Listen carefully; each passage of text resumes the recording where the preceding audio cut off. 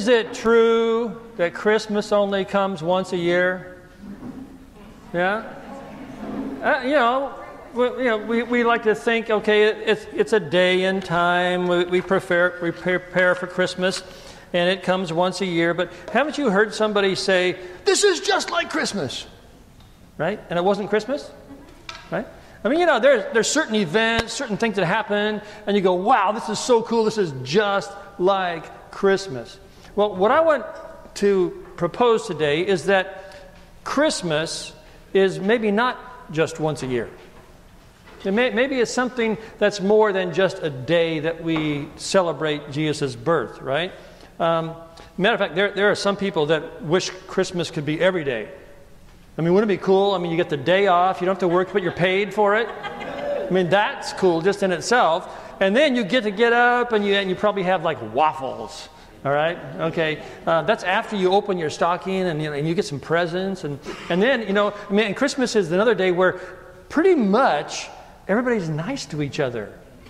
I mean, imagine that. You know, I mean, I mean, you, you kind of try to have to be nice to each other sometimes, but you know, by and large, Christmas is a pretty good day for most people.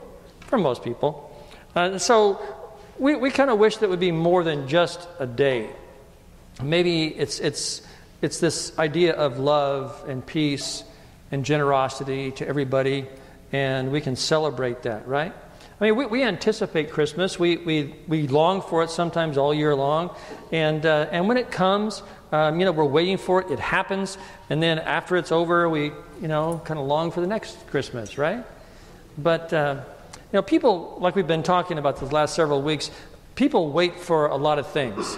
And the, the children of Israel, of course, they were waiting for redemption, they were waiting for the Savior, they were waiting for the Messiah. And this last thing we want to talk about today is this idea of waiting for what they call the kingdom of God. All right?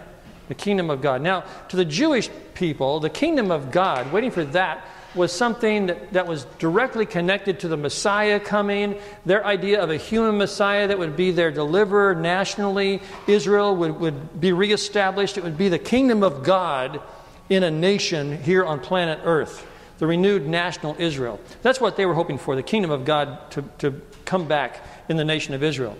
But what really is the kingdom of God that, that the Bible talks about? Um, the kingdom of God actually carries its own definition if you look at it. Right? It's a kingdom, and when you're thinking about kingdoms, you're thinking about people, right? I mean, there's like the United Kingdom or, or the UK, they call it, and, and there's all these people with a funny accent, right? I mean, uh, so, so you have this kingdom, right? And it's made up of people. And so the, the word kingdom means that there's this group of people that are under a, a kingship, under a law, under a rule of somebody over them. And so, if it's the kingdom of God, it means that then there is this group of people who are under the kingship of God. Make sense? And so, anybody who says, I want God to be over me, I want God to be my king, I want Him to be Lord of all, He's the director of traffic. I mean, in reality, I mean, the best place on the planet to live would be in a nation or a kingdom where you have benevolent rule. You have a king who has the power, has the resources, the capabilities to keep you safe, to provide for you as a people, to ke- and, and, and care for you. I mean, if, he, if you have a benevolent king, that's awesome because he loves you more than he even loves himself. He's going to take care of you, he's going to watch out for you, he's going to make sure that you're safe. That'd be the best case scenario for everybody. And so here, now the kingdom of God means that we are the people of God under His rule, under His authority, under His direction, and we are completely safe. But we have everything we need if God is our king. That's pretty cool. So the kingdom of God is a huge, huge deal in Scripture. Matter of fact, Jesus talks about the kingdom of God a lot. Now, he talked about it not just in one way, though. Uh, he, he, he talked about the kingdom of God, and sometimes to some groups of people, when he mentioned the kingdom of God, he, he told these really kind of bizarre stories. You know, they were called parables. And, and, and they, were, they were kind of like talking in language that kept things a little bit secret. So people didn't really get what he was talking about. And then after he told the story, the disciples would come by, you know, his, his, his little group of guys that were following him real closely, and he would explain stuff to them, and they still wouldn't get it. All right? But, but the kingdom of God was something that we know at least one big idea about the kingdom of God that Jesus said it is so special. It is, is so precious. Uh, it is so desirable that you would sell everything that you have in order to achieve it, in order to, to get it, to be your own. I mean, that above all things is, is the main point that Jesus wanted to make to, to the masses is that the kingdom of God is so cool, so great, so awesome that you would give up everything in order to achieve it, in order to gain it. That's cool. Now, um, is the kingdom of God just one thing? Is it just a day in time? Or is it something more than that? Well, in Luke chapter 17, once being asked by the Pharisees when the kingdom of God would come, Jesus said, Well, the kingdom of God is not something that can be observed. You can't see it. And people are going to not be able to say, Well, here it is or there it is, because the kingdom of God is in your midst. Now, there's a big debate among uh, you know, theologians and, and people who make commentary on the Bible uh, about this term in your midst. Because literally, in the original language, it says within you. Now, we know that he was talking to Pharisees who didn't really believe in him as the Messiah at the time. So the kingdom of God wouldn't have been in them in particular. So they kind of translate this in your midst, like, I, am here, I'm it, I'm the one, I am the kingdom of God. But in reality, the, the, the words are very clear in the original that the kingdom of God is going to be inside of you. Now, we know from other places in Scripture that when you accept Jesus as your Lord and Savior, and you say, I want to live under His rule, under His reign and authority in my life, what happens is the Holy Spirit of God Himself comes and lives where? Inside you, right? So the kingdom of God, represented by God's Spirit, lives right inside your body. Woo! That's cool. See, that's what Jesus is actually saying here is the kingdom of God is inside of the people who say, "Yes, I want to be a follower and subject to God's rule and reign in my life." Okay? Now, what does that look like? Well, what does the kingdom of God then look like if God lives inside of us? Well, the Apostle Paul, who was one of the followers of Jesus, he kind of gives us a pretty clear picture of this in the book called uh, Colossians, right? It's a letter that was written to the church, the people who made up the church at Colossae.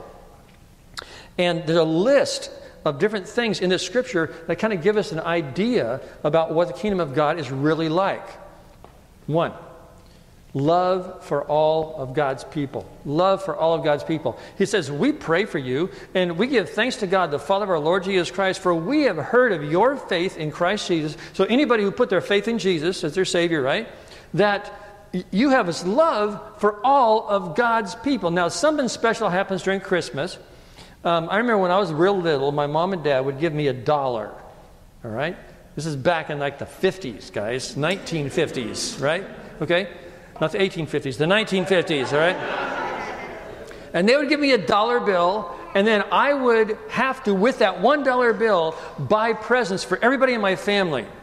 Okay? Grandmas and grandpas, brothers, you know, the whole nine yards, right? And so I would go down to a store called Woolworths.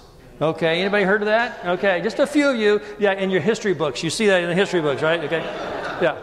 Okay. Woolworths, it's called five and dime. Five and dime. And one of the things they had during Christmas time is they had these bins. And they had a five cent bin.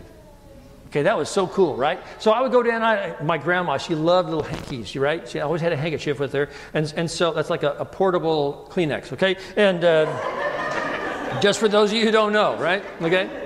So, so I would buy a nickel for that. You know, then I'd buy something, you know, for my grandpa and something for my mom, something for my dad. And I had to buy something for my brother. right? okay. You know, but that's the rule at Christmas time, right? You, you buy for everybody. Why? Because they are a part of your family. And you're supposed to love everybody in your family at Christmas time as hard as it is.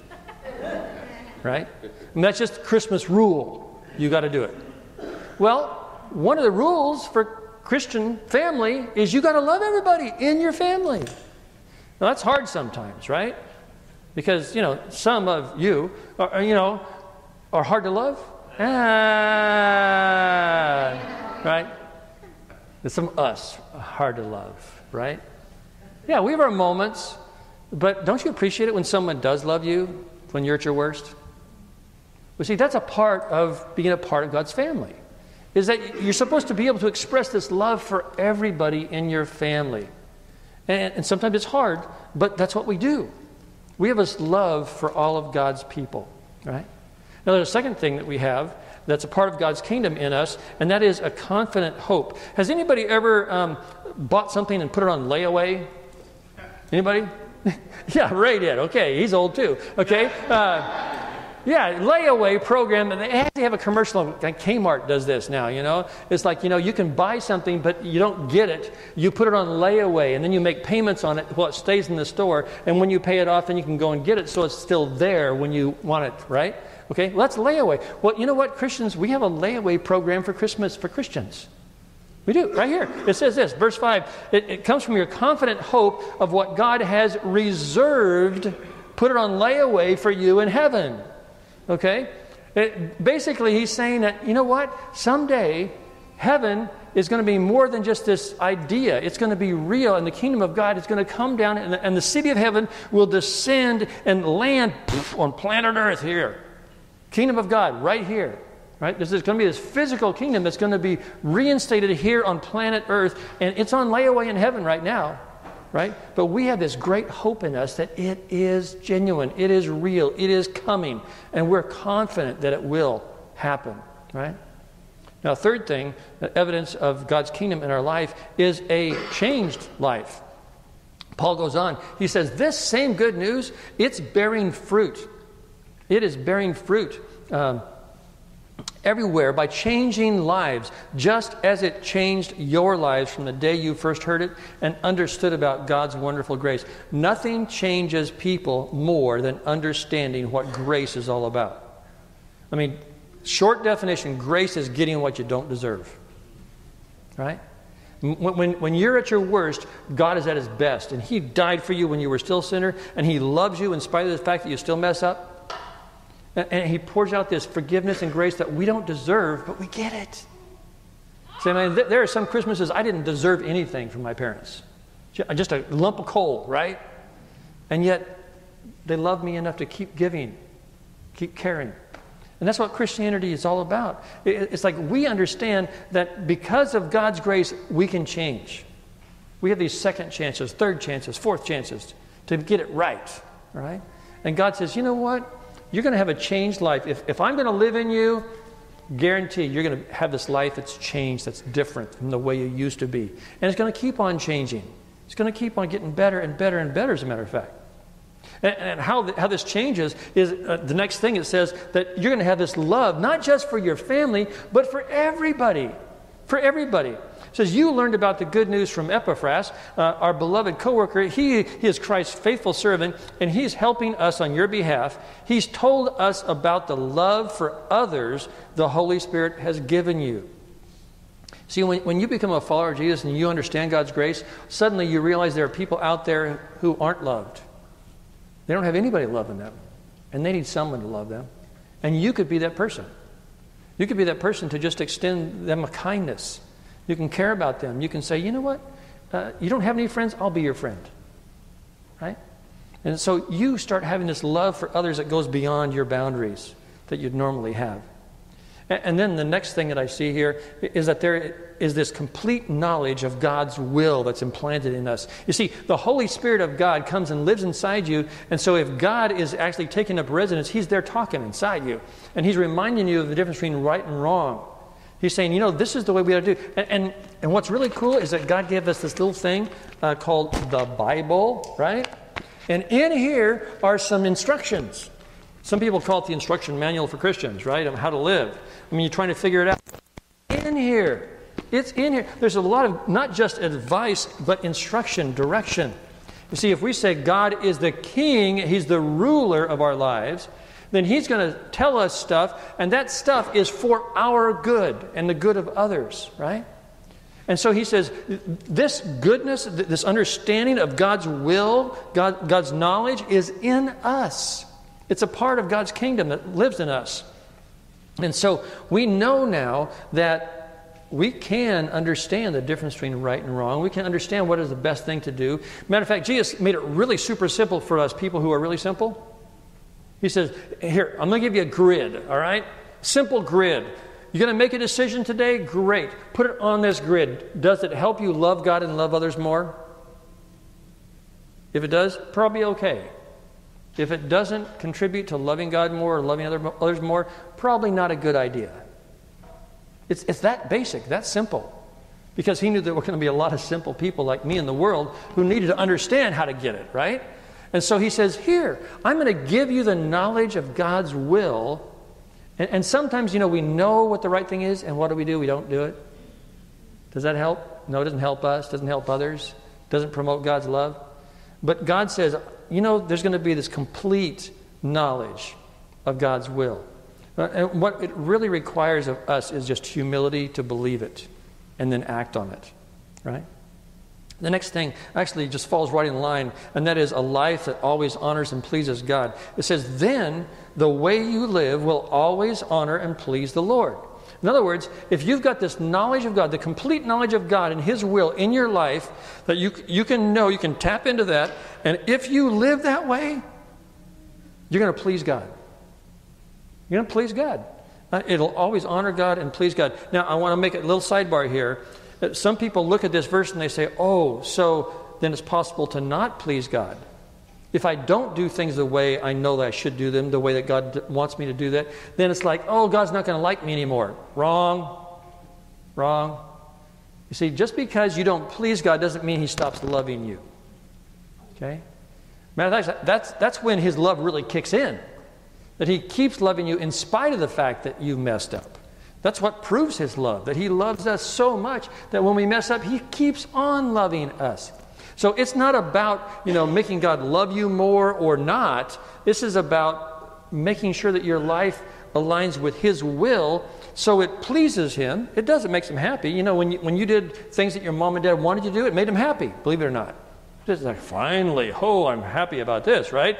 Uh, so, you know, you can make God happy. You can make him, him pleased with you. Of course, he's pleased when you do what's right, and he's grieved when you do what's wrong. But he never stops loving you. Okay? Understand that. That's really, really important. And then, if you are living a way that honors and pleases God, guess what happens? You are going to have a life that produces what the Bible calls good fruit. Verse 10 says, And your lives will produce every kind of good fruit. Now, the fruit that's mentioned in the Bible, some people think, well, this means that, you know, the fruit that I'm going to have is a lot of people accepting Jesus as a, as a result of me. Well, no.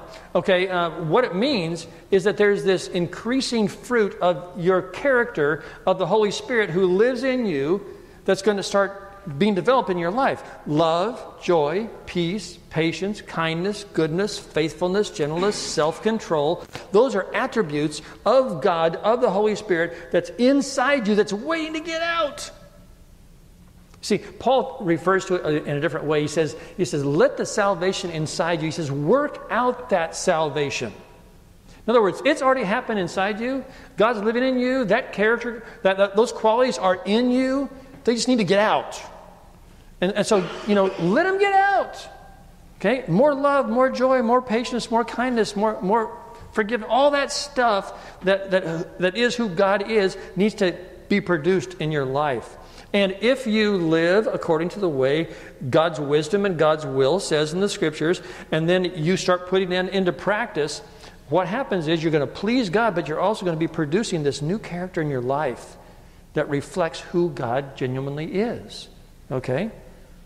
Now, this is not going to just happen automatically. And that's why you need the next thing. The next thing is strength to endure with patience. See, we always pray for you to be strengthened with all His glorious power so you will have all the endurance and patience you need. Now, get this. This is really, really important. If you're a Christian, and you're, you're trying to live the way God wants you to, and you say, okay, I'm believing that if I do this, my life is going to be changed, my life is going to be transformed, I'm going to become more and more like God in character, okay? It is possible. I meet some people and say, well, you know, that's just not how I'm wired, you know? I say, dude, you need to be rewired, okay? Right? The rewiring is possible. The one biggest reason that people don't change is they don't believe they can. They just don't believe it. And they need to start believing it because God's Word says the Holy Spirit lives in you. You are a part of God's kingdom. God's kingdom is inside you, and it is waiting to get out. And all we need to do is believe with all of our heart that God can give us the patience and the endurance and the strength, the power to see it happen. Don't give up on it. Don't give up on it in your life. You can, you can become more of the kind of person that God wants you to be. You've got to believe that. And what's the result of that? The next thing. May you be filled with joy. Now, joy is not just this happy feeling that you get, you know, at Christmas time. Joy is this deep seated contentment. I mean, it's the ability to, to, to be at peace with you and yourself and, and those around you, in spite of the fact that, that, you know, things might be swirling, might be really bad. But deep down inside, you know that God is with you and it's going to be okay. Because, you know, that stuff is laid up for you, right? Eventually, it's all going to be worked out. And so there's this joy that happens when you live in a way that honors and pleases God because you know His will and you're putting it into your life. It's going to produce this new character in you, this new fruit, and you're going to have patience to, to make sure that it happens. Suddenly, you're filled with joy, and not just joy, but thanksgiving. You will become a more thankful person. It says, always thanking God the Father He's enabled you to share in the inheritance that belongs to His people who live in the light. Now, get this. If you don't get anything else today, get this. He has rescued us from the kingdom of darkness and transferred us into the kingdom of His dear Son. Now, what tense is that? Past tense, you all you English majors. Past tense, all right? He has. This is a done deal. It's already happened. If you've trusted Jesus as your Lord and Savior, you said, Yes, I want to live by His rule. He, he's going to reign in my life. I'm going to try all these things because I know that it is possible with His power. You are going to be thankful because you have already been transferred from darkness into the kingdom of light. That's pretty cool. All right? That makes every day worth living. He has transferred you. Okay? Um, so there is this present kingdom that you are a part of right now. But there's also not just a present kingdom, but a future kingdom. A future kingdom, right? Um, now, interesting, there's a couple of verses I want you to focus on here with me as we wind things down. 1 Corinthians 4.20 says this, The kingdom of God is not a matter of just talk, but of what? Power. Power. You see, a lot of people talk a good game. Um, yeah, they want to be Christian. They like the benefits of being saved and not going to hell and all that kind of good stuff. But they like to talk about, but you don't really see the change. You don't see the endurance. You don't see the power in their life. You don't see joy in their life. What's the deal? What's up with that? Well, you know, again, Paul is saying this is not just a matter of talk, it's a matter of doing. It's a matter of God can give you the power to get it done. All right? I'll give you another verse, summarizes it real well Romans 14, 17. The kingdom of God is not a matter of what we eat or drink, which is like Christmas all over again, right? It, it, it's not about getting what we want, but about living a life of goodness and peace and joy in the Holy Spirit.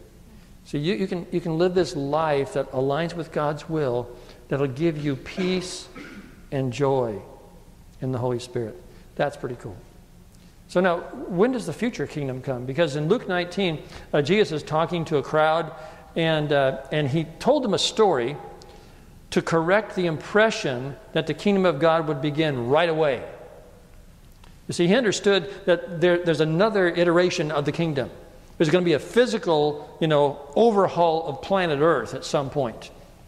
And he's saying, well, you know, pump the brake on that one And let me tell you how it all is going to spin out. And so he tells another story. And it's kind of, you know, one of these other stories you're going like, oh, thanks for that story, Jesus. You know, here, here it is. You make your own judgment, right? He says, okay, a nobleman was called away to a distant empire to be crowned king and then return. But before he left, he called together ten of his servants, and he divided among them ten pounds of silver, saying, Invest this for me while I'm gone.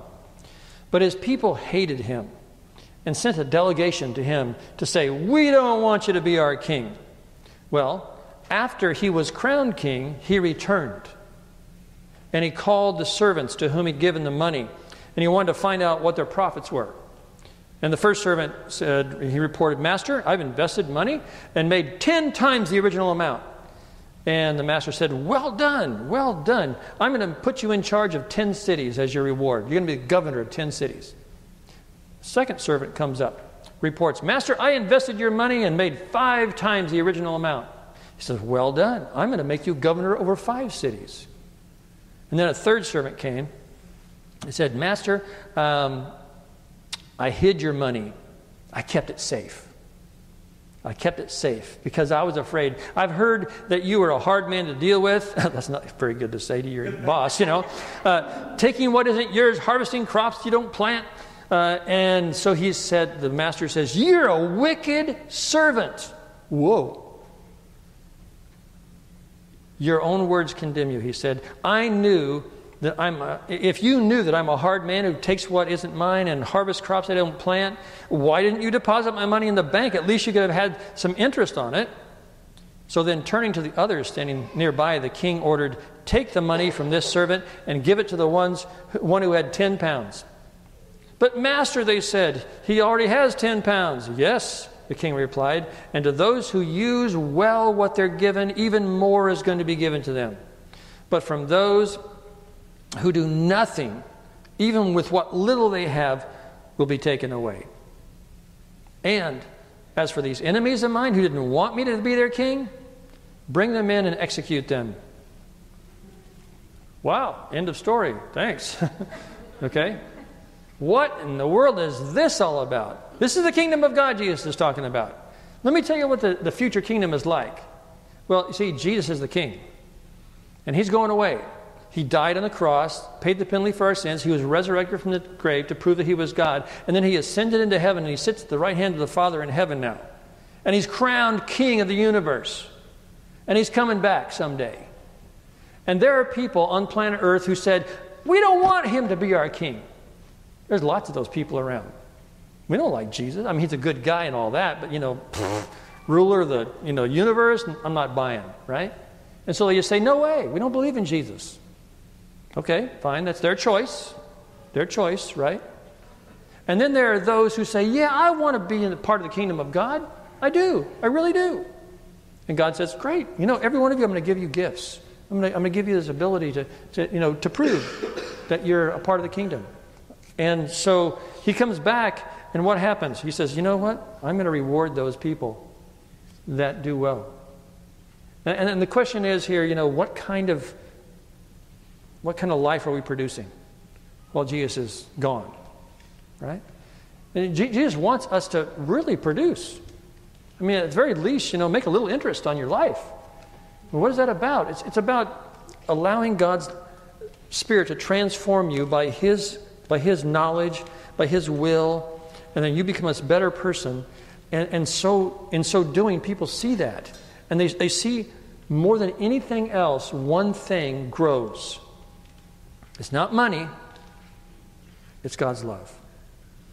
That God's love is seen more and more in your life.